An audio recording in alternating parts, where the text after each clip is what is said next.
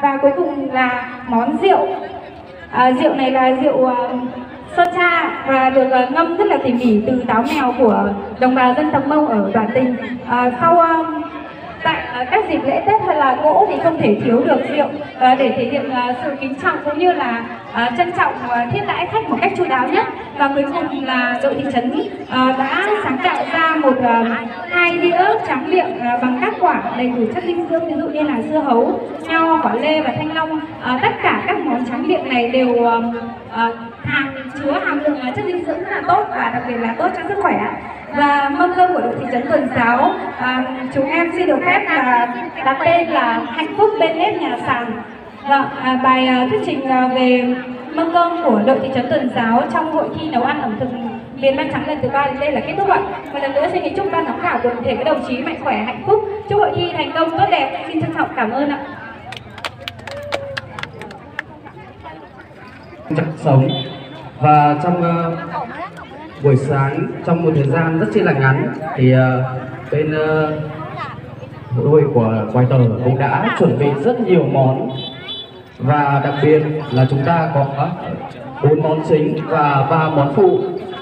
À, cũng xin giới thiệu từng món đến uh, ban giám khảo.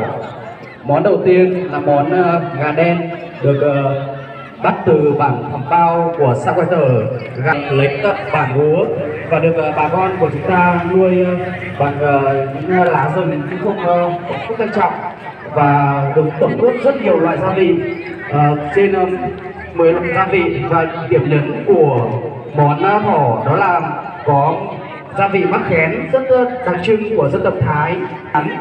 Và để qua đêm sau đó chúng ta sẽ hấp lại để có một mùi vị đặc trưng của dân tộc Thái. Uh, tiếp theo là món sườn nướng. Món sườn nướng uh, được uh, trang trí rất chi là đẹp. Uh, rất nhiều rất nhiều loại gia vị cũng đã được ướp và chúng ta sẽ ờ, để trong 30 phút sau đó chúng ta gác bếp lên. Rằng rất là động viên uh, mong anh chị em phụ nữ chúng ta sẽ có dành thời gian vào bếp nhiều hơn để uh, cho gia đình mình càng thêm ấm no hạnh phúc giữ ngọn lửa ở trong uh, gia đình. Và món uh, tiếp theo là món uh, nộm hoa đu đủ cà dại và lá chát ngọt thì uh, cũng uh, dù mình đi đâu mà ăn ăn ở đâu thì vẫn nhớ quê nhà, nhớ quê hương. Và tiếp theo nữa là món thứ tư là thịt lợn treo các bếp.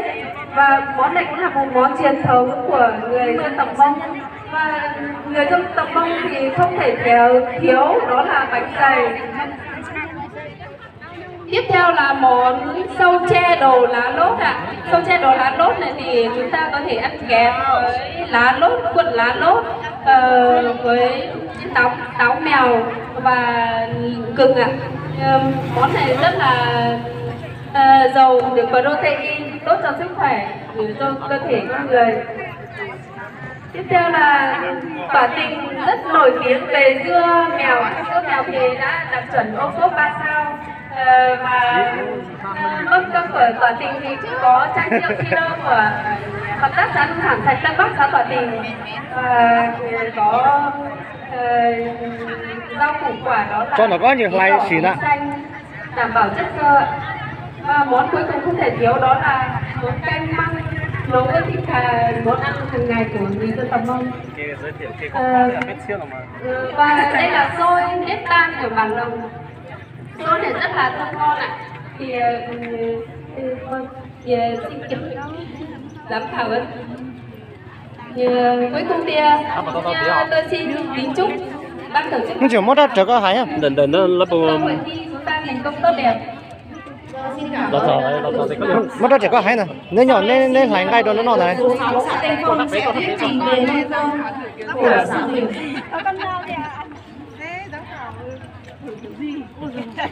có ngay có ngay luôn thì chặt, xử Bây giờ còn dư ra một cái là vặt được này. tí tí thử lấy lấy chặt lấy cái đuôi Kính thưa các quý vị đại biểu, kính thưa ban giám khảo và toàn thể hội thi đến với hội thi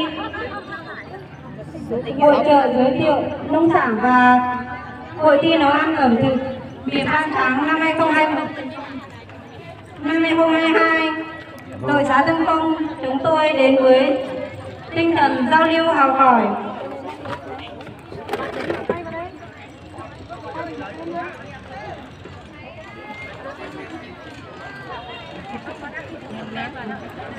Đội Tây Phong chúng tôi đến với những món gồm các món sau đây. Thứ nhất là món gà món gà luộc. Gà luộc đá là một món truyền thống của người dân Việt Nam và gà luộc còn trở thành một món không thể thiếu trong những dịp lễ và những bữa tiệc lễ cưới của các dân tộc của người Việt Nam. Thứ hai là cá tầm nướng. Cá tầm cá tầm nướng được ướp với các gia vị như hoa hồi, thảo quả mắc khén xả ớt và những gia vị này chỉ có được uh, của huyện Cờ Giáo này là chỉ trồng được ở trên ờ, uh, xã nhà xã Tinh Phong ạ. Đây cá tầm ạ. Còn đây là thịt lợn con lừng nướng ạ. À, được ướp với những loại gia vị như hoa hồi, thảo quả, má khén, hạt tiêu.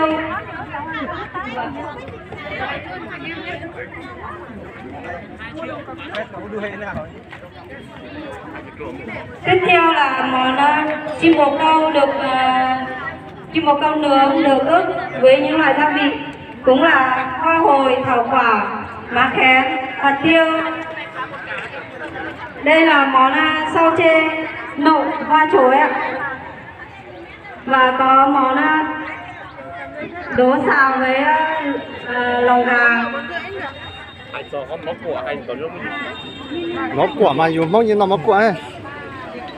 đây là món uh, mèm mén ạ mèm mén là một món món ăn dân dã truyền thống được làm bằng uh, nguyên liệu từ ngô đây là một món uh,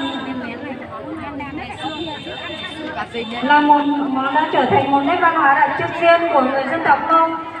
Mèn mén đã tồn tại từ bao đời nay, à, mang lại một ý nghĩa thiêng liêng đời sống xã hội của người dân tộc Mông. Ngày nay à, món mèn mén khi à, du lịch phát triển, mèn mén còn trở thành một món à, độc đáo và thu hút du khách. Cho có chở chứ. mời à, ban giám khảo thử món à, lợn nướng và và các món mềm mén của bà xã Bây giờ muốn thử rượu này làm thế nào được không? À, giới thiệu, giới thiệu. đây là rượu được à, nuôi mới Sao nào cầm đi à? lá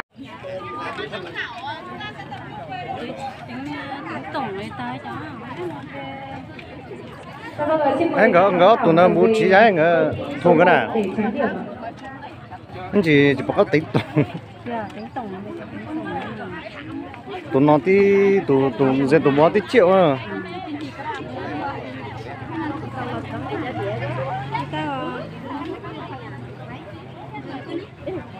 tôi cứ tính tổng từng từng có ba nó rồi nếu cô chỉ cha sáu thế này rồi như là hơn tụm bua tới tụm cái tới tụm cá tới kỳ đó rồi đấy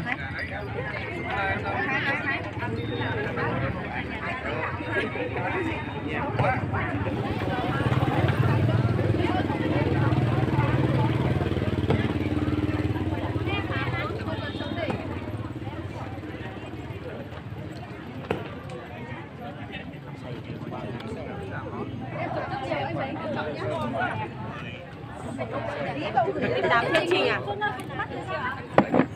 mời mời giám khảo ờ, chúng ta sẽ về ờ, để chấm